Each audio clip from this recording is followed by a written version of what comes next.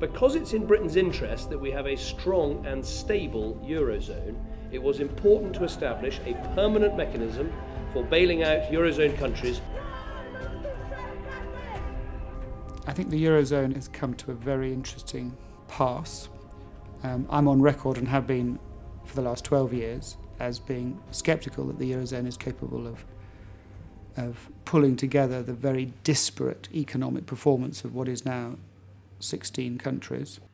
The designers of the Eurozone explicitly said we see this as a route to political union. I think, as a concept, to force the currencies together as the way to get political union, and the electorate saying, oh, we must all be politically unified because we now have the euro, I think is implausible. The difficulty is if you don't do that, then you, then you don't have the mechanisms you need to keep a currency together. And so that is, you don't have control over the budgets, the, the, the, taxation and spending budgets, and indeed over the spending habits and characteristics of the members. It's Greece and Ireland, it's now Portugal and probably Spain um, have been running deficits and they've been running relatively higher inflation. They've had, booming housing markets in an environment where we still have a very disciplined central bank in the ECB, which is essentially a successor to the Bundesbank in culture, namely that they will provide a very high level inflation control and discipline.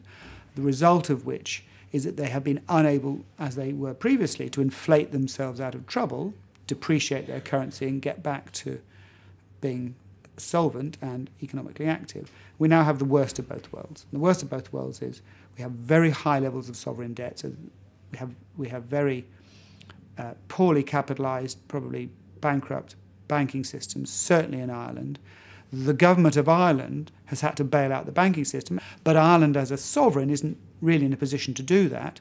Therefore, its own debt has now had to be, in effect, guaranteed by the ECB, which is in effect the Eurozone countries. So you now have a position whereby you have all the disadvantages from the perspective of Ireland of the austerity measures now required, of the uncompetitiveness of the weak demand.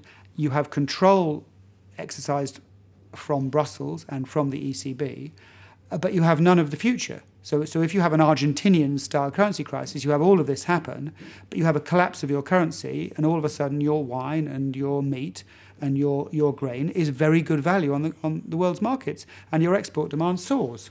So Argentina, which had a horrible crash in 2001, a real currency disaster, and currency and banking disaster, has recovered very strongly from that because it's had a very weak currency. Ireland isn't capable of having weak currency because it doesn't have a currency. And therein lies, I think, pressures which I am very concerned indeed will lead to one or more countries exiting the euro. What we are being told is that we have no choice, that there is no alternative.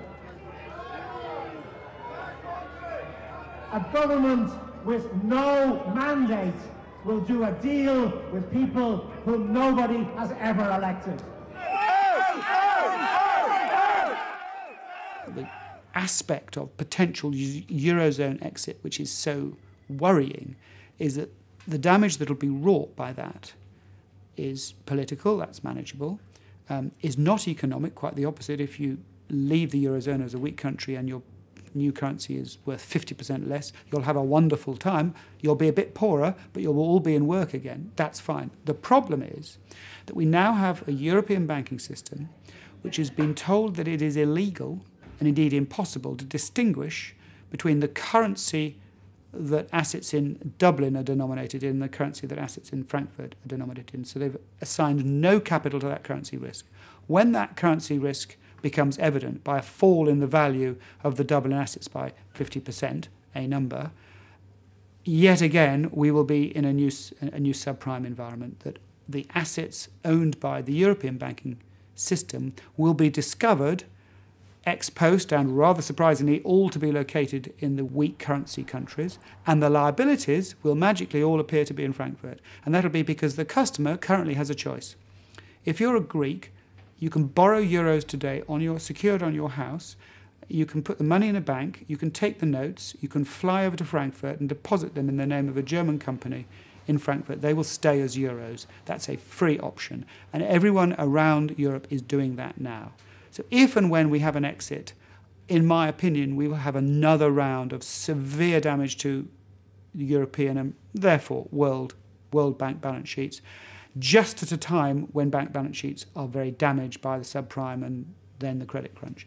Whereas, in a sense, I'm very keen that the inconsistencies in the euro come to the fore, and indeed that the poor economic performance of the peripheral countries can be restored back to health and they can get back to work. I'm extremely worried that if it happens now, it will very severely damage the banks. You'll then have to go back to the sovereigns, and then in at least in principle, it could be that that will provoke yet another round of, of, of sovereign crises because the weight of the bank balance sheets on the sovereigns will be too hard to bear, and it'll probably all come back to the UK, France, and Germany. Most of the questions about the Eurozone today, which I get, are framed by reference to default. So, so the questions are this Will Spain or will Greece default on its debt? And what I say is you're asking the wrong question.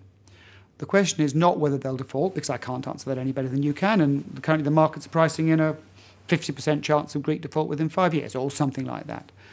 The question seems to me to be that there is a quadrant of choices, four choices, if you're Greece.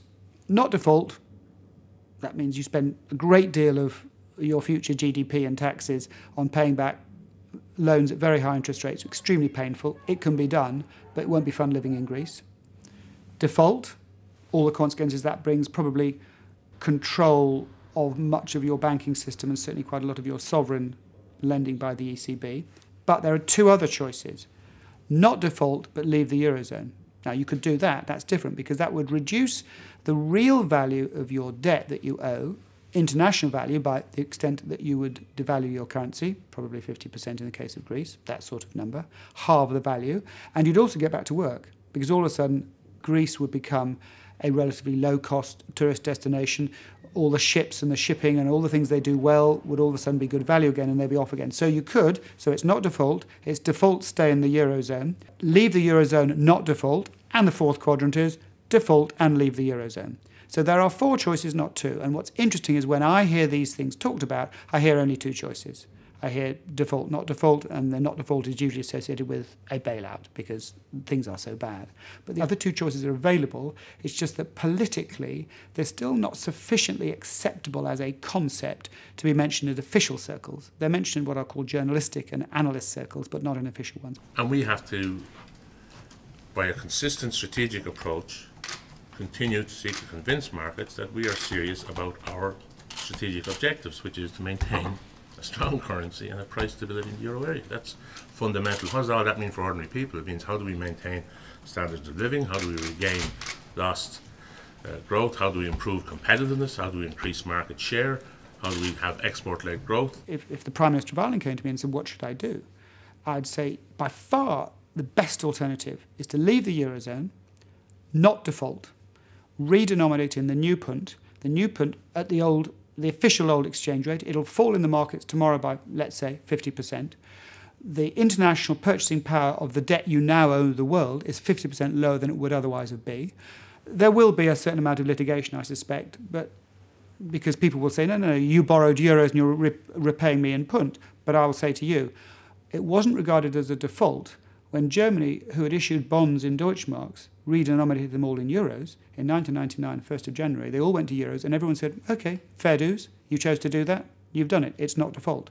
So if that's the theory we've now established, you can change your currency, then you can change it back again. And I'm sure there'll be a tremendous amount of potential challenge, but in reality, that is a solution which will stick. And so then I would say if you don't default, you remain uh, a viable um, offeror in the international markets.